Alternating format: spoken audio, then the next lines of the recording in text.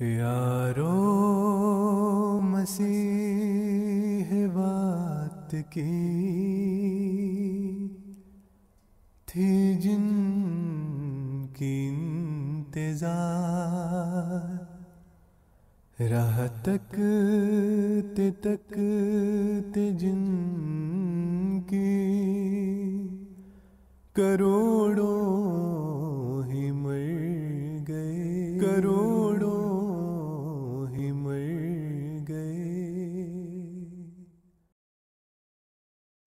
हज़रत अब्दुल्ला साहब सनोरी रज़ी अल्लाह अन्हु बयान करते हैं, एक दफ़ा हज़रत मसीह मऊद अलैहिस्सलाम बैतुलफ़िक्र में लेटे हुए थे और मैं पाँव दबा रहा था कि हुजरे की खिड़की पर लाला शरमपत या शायद लाला मलाउमल ने दस्तक दी।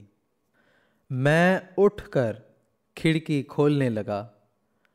मगर हज़रत मसीह माऊद अलैहिस्सलाम ने बड़ी जल्दी उठकर तेज़ी से जाकर मुझसे पहले जंजीर खोल दी और फिर अपनी जगह जाकर बैठ गए और फरमाया, आप हमारे मेहमान हैं।